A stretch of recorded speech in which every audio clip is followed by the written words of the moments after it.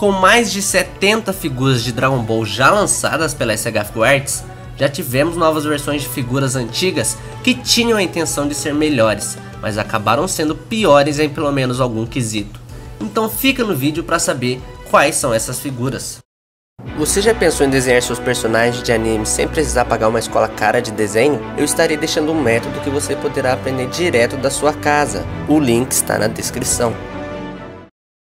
Fala galera, aqui é o Giancarlo e seja bem-vindo ao AnimaZ. E como vocês pediram aí na aba comunidade pela votação que eu fiz aí, no vídeo de hoje vai ser um comparativo de figuras antigas que acabam sendo melhores que figuras novas em pelo menos um quesito, nem que seja de item, nem que seja de pintura, pelo menos um quesito ela acaba sendo melhor de, do que uma versão 2.0 dela.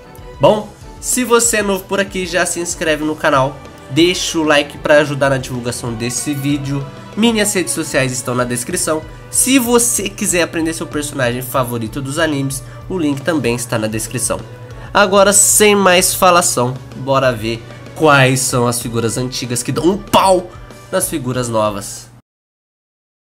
É como eu falei, galera. Nesse vídeo eu não vou estar aqui cravando com 100% de certeza. Ah, essa aqui é melhor em tudo. Em tudo que essa figura antiga foi feita, ela foi melhor que a nova. Não. Vai ser pelo menos, nem que seja um quesito, a figura antiga acabou sendo melhor do que a nova. Vocês entenderam? Não vai ser um negócio 100%, tipo, melhorou, ficou melhor que tudo. Os itens dela, a pintura, tudo. Não. Nem que seja pelo menos um pra estar aqui pra mostrar que a antiga é melhor que a nova. Vocês entenderam? Entenderam? Bom, agora vamos começar nossa listinha aqui com Freeza 1.0 contra o Freeza 2.0.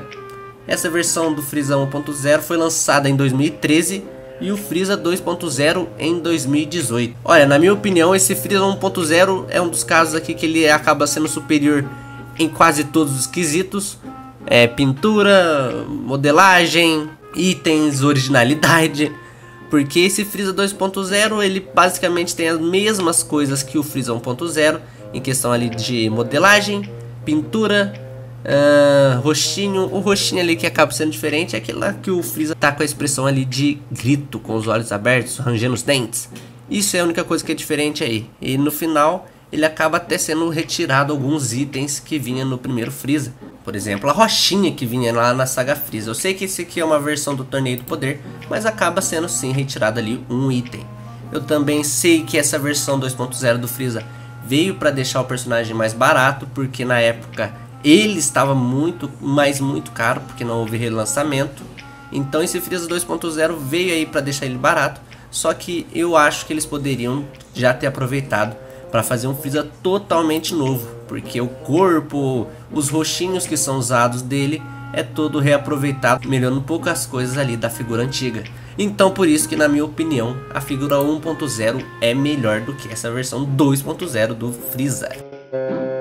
Vegeta Scouter 1.0 versus Vegeta Scouter 2.0. O primeiro Vegeta foi lançado em 2014 e o Vegeta 2.0 em 2017.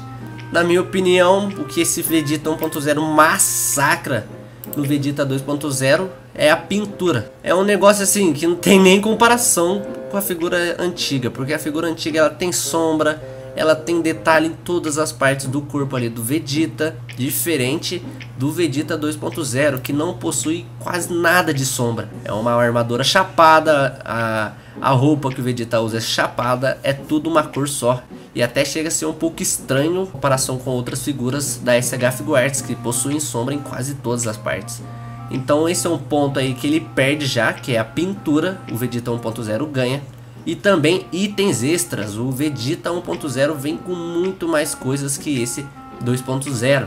Ele vem com aquelas energias azuis, vem com base, é um Vegeta muito mais completo do que esse 2.0. Na minha opinião, o 2.0 só ganha ali na questão da escultura do personagem. Eu acho ele mais bem feito do que o 1.0. E também não tem o problema lá da articulação das pernas, né? Mas, em outros quesitos, o Vegeta 1.0 Scouter ganha fácil.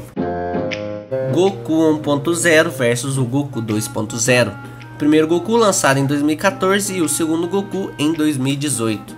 A versão de 2014 conta ali com muito mais itens extras, na minha opinião, que complementa muito mais o Goku do que o 2.0.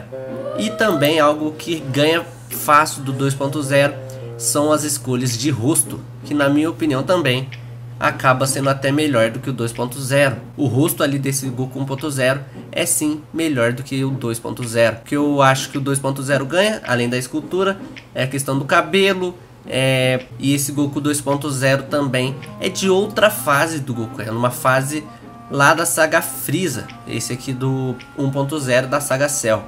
Então até dá para deixar eles juntos, mas o 1.0 ganha ali em outros quesitos. Ganha em itens e rosto, na minha opinião, ele é melhor nessas questões aí, mas em escultura e pintura, o 2.0 ganha.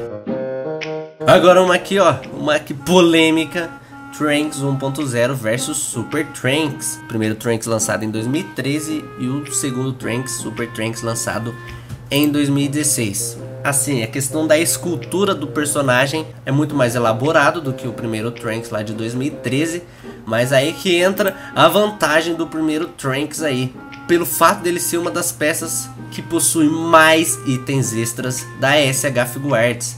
Esse Trunks ganha de lavada na questão de itens na questão de itens extras, porque o Trunks, o Super Trunks, ele não acompanha quase nada de itens ali, acompanha mãozinha e braço cruzado e alguns rostos. E o que é diferente do primeiro Trunks, que é um dos personagens que mais possuem itens nessa coleção. Mas é ali o que eu falo.